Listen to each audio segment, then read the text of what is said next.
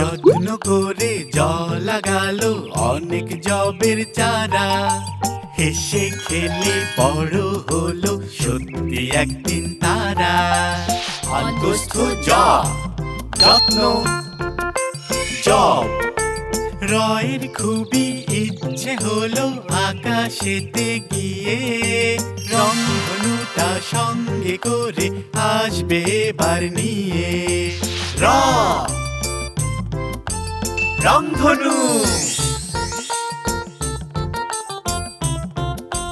লাল লাল পিপিলিকা রাত দিন ধরে যাচ্ছে নিয়ে সারি সারি ল কাঁধে করে। ল। লাল। শাপলা বিলে ফুটে আছে অনেক শাপলা ফুল। শনশনিয়ে বহে বাতাস, শান্ত নদীর কুল। তালব্য শাপলা।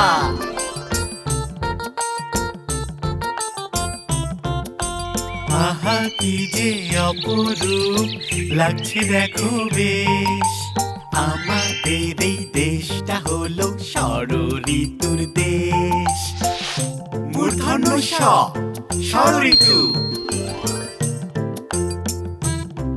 র ল তালব্য স মূর্ধন্য স বলটা ধরো কিন্তু না হলে গড়িয়ে পড়ে যাবে। ঠিক আছে বিট্টু দাও দাও। দিচ্ছি দিচ্ছি। আ, এই যা পড়ে গেল। কি ব্যাপার? তনু বিট্টু বল নিয়ে খেলা হচ্ছে। নানু শুধু আসেনি। একটা মজার খেলনাও নিয়ে এসছি। কি খেলনা নানু? বলো না দেখি। দেখাচ্ছি। দেখো তো এটা কি? হুম। এটা কি? এটা কি কোনো ছবি? না মনে তো হয় ছবি না। হুম এইটার ভিতর না একটা বর্ণ লুকিয়ে আছে। বলো তো কোন বর্ণ? বর্ণ? হ্যাঁ। এমন তো কোনো বর্ণ দেখিনি। এই তনু এটা কি বর্ণ? আ, আমিও তো চিনি না। চিনতে পারছ না? চলো তিনজনে মিলে এটার ভেতর থেকে লুকানো বর্ণটা বের করে ফেলি। হ্যাঁ? এসো এসো এসো এসো শুরু করি শুরু করি। এসো এসো এসো এসো। বিট্টু দেখতে পাচ্ছো? হ্যাঁ? হ্যাঁ কিন্তু বুঝতে পারছি না। এই দেখো এই দেখো। আমি একটু বসে নি হ্যাঁ? এই এই যে এই দেখেছ? দেখেছ? এটা এখানে দিলাম। তারপরে এই যে এই দেখো দেখেছ? হ্যাঁ এই এই তো দিলাম। এই এই যে এই যে দেখো দেখো এবার এটা দিলাম হ্যাঁ। দেখি এই যে এই তারপরে হ্যাঁ এইটা? হ্যাঁ। এই তো হচ্ছে। হ্যাঁ হ্যাঁ হবে না কেন? দাঁড়াও দাঁড়াও আর বেশি বাকি নেই। বেরিয়ে যাচ্ছে সে। দেখো এই এরকম হবে এটা। এই হ্যাঁ। আর মাত্র দুটো এই দেখো। হ্যাঁ? এখানে দেবো? আচ্ছা দিয়ে দিলাম। তনু তো একদম ঠিক কথা বলেছে এই জায়গারই। এই দেখো। আর কিন্তু বাকি একটা। দেখো দিয়ে দিচ্ছি দিয়ে দিচ্ছি হ্যাঁ? দিয়ে দাও। এবার দেখো। আরে এটা হলো মূর্ধন্য হ্যাঁ? একদম ঠিক বলেছ তনু বিট্টু। এটা হচ্ছে মূর্ধন্য স হ্যাঁ? আচ্ছা এটা তো তোমরা এখন দেখলে। বেরিয়ে গেল বর্ণটা হ্যাঁ? মূর্ধন্য স আছে। এরকম একটা শব্দ বলো তো দেখি। হ্যাঁ? হ্যাঁ। হ্যাঁ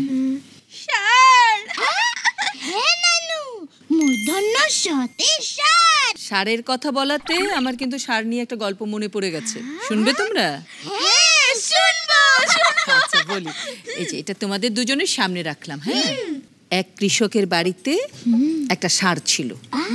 কৃষকটা সারটাকে খুব ভালোবাসতো। ভোরবেলা কৃষক তার সারটাকে নিয়ে সোজা বেরিয়ে যেত। বেরিয়ে গিয়ে তার বাড়ি থেকে অনেকটা দূরে একটা সুন্দর মাঠে সারটাকে বেঁধে রাখত। তারপর কৃষক তার খেতে কাজ করতে চলে যেত। হুম। সারাদিন কাজ শেষে সে যখন সন্ধ্যায় বাড়ি ফিরতো, তখন সারটাকে নিয়ে বাড়ি ফিরতো। এইভাবেই চলতো তাদের দিন। হ্যাঁ একদিন প্রায় দুপুরবেলা হ্যাঁ খেতে কাজ করছে কৃষক। হঠাৎ তার কাছে একজন এসে বলল তার মা খুব অসুস্থ। হুম। তখন তো কৃষক একেবারে দিশেহারা। সে এক দৌড়ে বাড়ি চলে এলো। তখন সে আর কি করে? মাকে নিয়ে সোজা হাসপাতালে চলে যায়। চিকিৎসা করাতে হবে না মায়ের। মায়ের চিকিৎসা শেষ হয়ে মা একটু সুস্থ হতে হতে প্রায় প্রায় রাত হয়ে গেল। হুম। এর মধ্যে মাকে নিয়ে তো সে ব্যস্ত ছিল না। তো তার সারের কথা সে একদম ভুলেই গিয়েছিল। শার্টটার কি হলো? কৃষক তো তার মাকে নিয়ে বাড়ি চলে এলো। তখন বেশ রাত। হ্যাঁ তারপরে হঠাৎ তার মনে হলো আরে আমার সার তো মাঠে। সে আবার ছুটতে ছুটতে ছুটতে ছুটতে সে মাঠে চলে গেল। গিয়ে দেখে তার সারটা চুপচাপ বসে আছে। কৃষক তখন তাকে অনেক আদর করল হাত বুলিয়ে আদর করল। আর তখন সারটাও বুঝতে পারল যে তার কৃষক বন্ধু তাকে একদম ভুলেনি। হ্যাঁ। দুজনে খুব আনন্দ করে বাড়ি ফিরলো। আর আমার গল্প ফুরলো। তাহলে বলো তো এই যে মূর্ধন্য স হ্যাঁ? এটা দিয়ে তোমরা কটা শব্দ শিখলে? আমি বলি। বলো বলো। আর আর আর কৃষক এই তো। তোমরা আসলে অনেক কিছু শিখে ফেলেছো!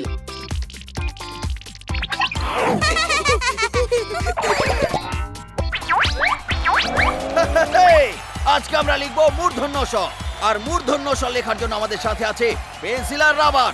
চলো দেখি ওরা দুজন কি করে লেখে একটা মূর্ধন্য স প্রথমেই পেন্সিল একটা আড়াআড়ি দাগ দিল। এরপর ঝটপট দুটি আঁকা বাঁকা দাগ দিয়ে পেন্সিল কোনা করি চলে যাচ্ছে নিচের দিকে। এবার নিচ থেকে সোজা চলে গেল উপরে। সবশেষে মাঝ বরাবর একটি ছোট দাগ। আর আমরা পেয়ে গেলাম আমাদের আজকের বর্ণ মূর্ধন্য স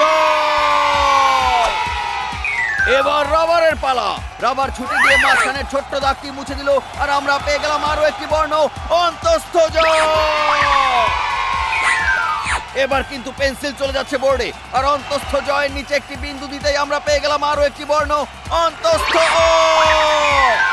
তাহলে দেখলে তো, রাবার আর পেন্সিল মিলে তৈরি করে ফেলল, একই রকম দেখতে তিনটি বর্ণ, মূর্ধন্য স, অন্তস্থ জ, অন্তস্থ অ তো, তোমাদের মনে আছে তো কীভাবে মূর্ধন্য স হয়? চলো আরও একবার দেখি।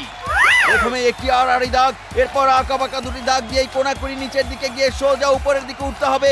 সবশেষে মাঝখানে একটা ছোট্ট দাগ দিলে আমরা পেয়ে যাব মূর্ধন্য স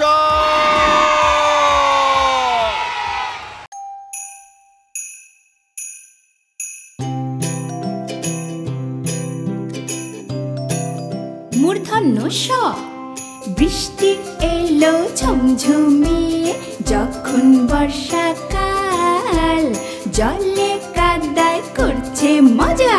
ওই মহিষের পাল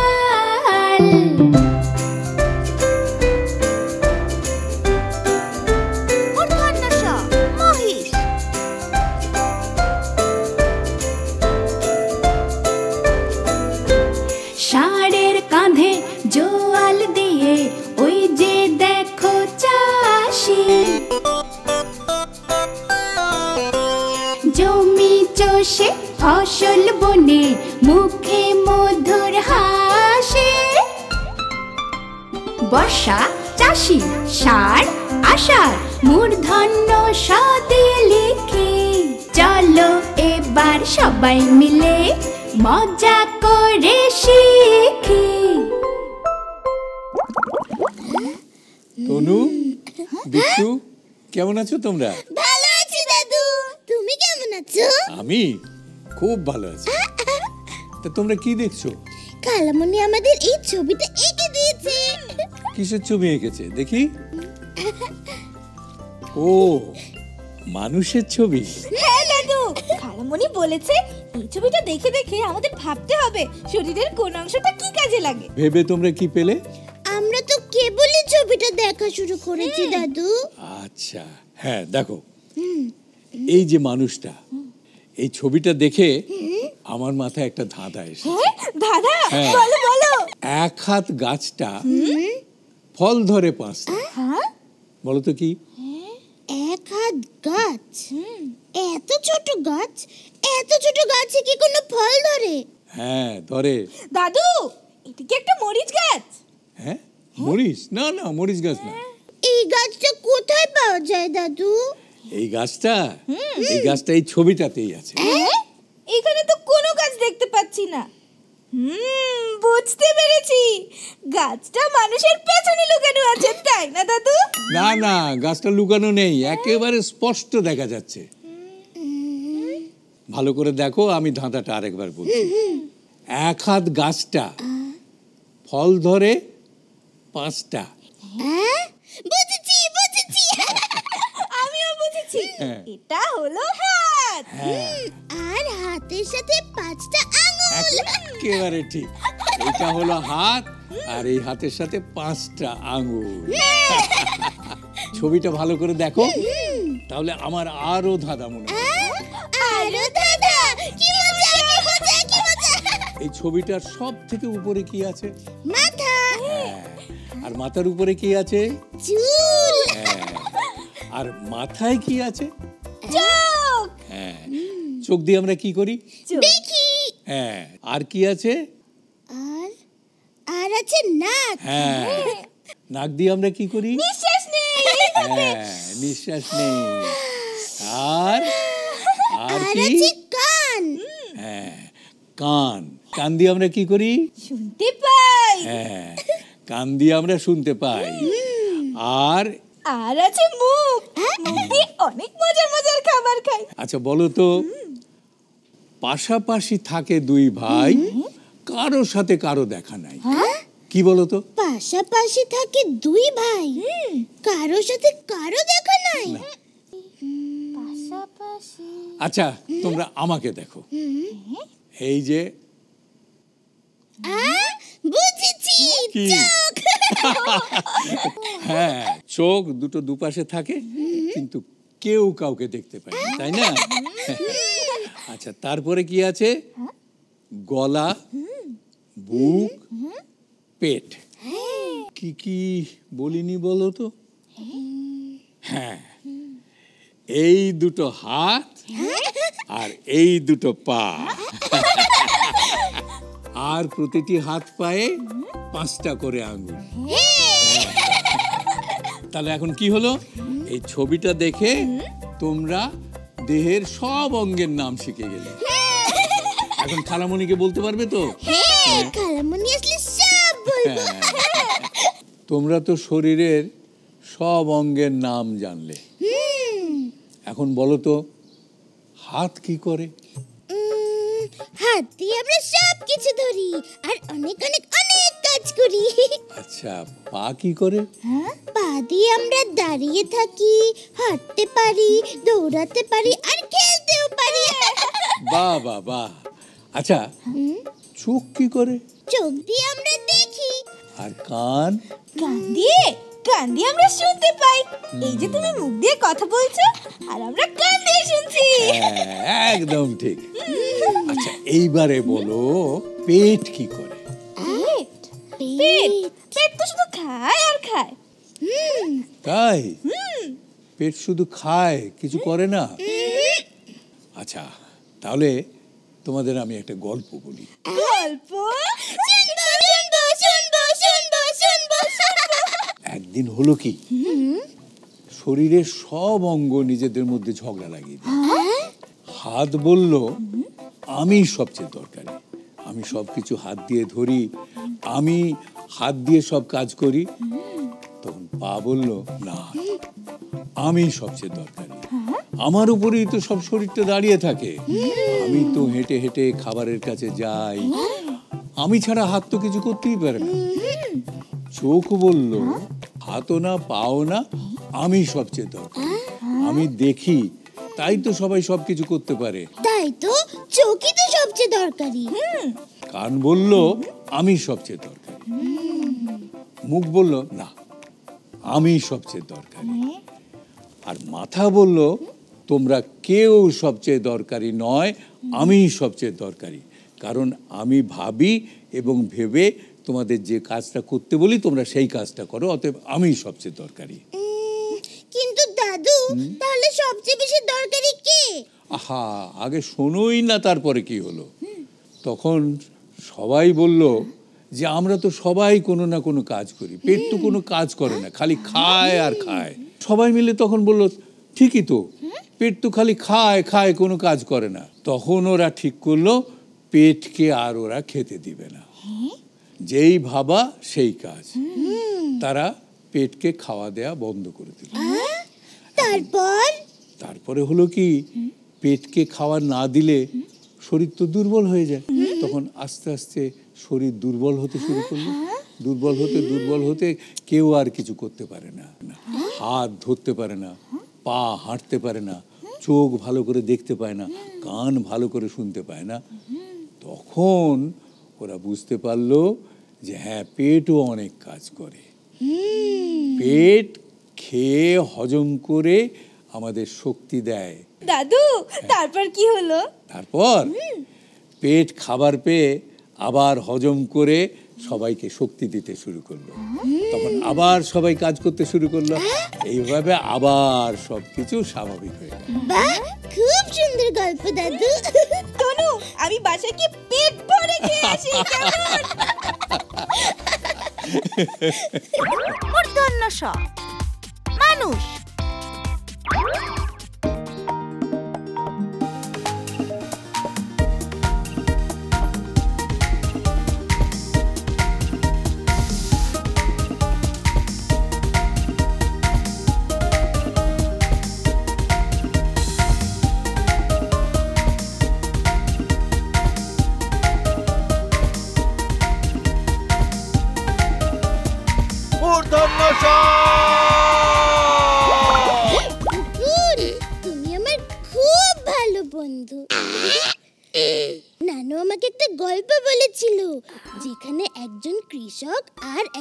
ষাঁড় আমাদের মতো খুব ভালো বন্ধু ছিল। আর এখান থেকে আমরা মূর্ধন্য স দিয়ে পেয়েছি ষাঁড় ও কৃষক। এই দুটো শব্দ। দাদু আমাদের আরেকটা শব্দ শিখিয়েছে। হুম, দাদু। দাদু শিখিয়েছে মানুষ। মানুষ লিখতেও লাগে মূর্ধন্য স হুম?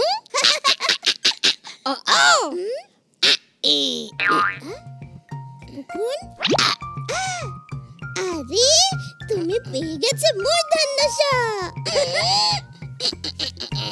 তুমি তো খাবে হুম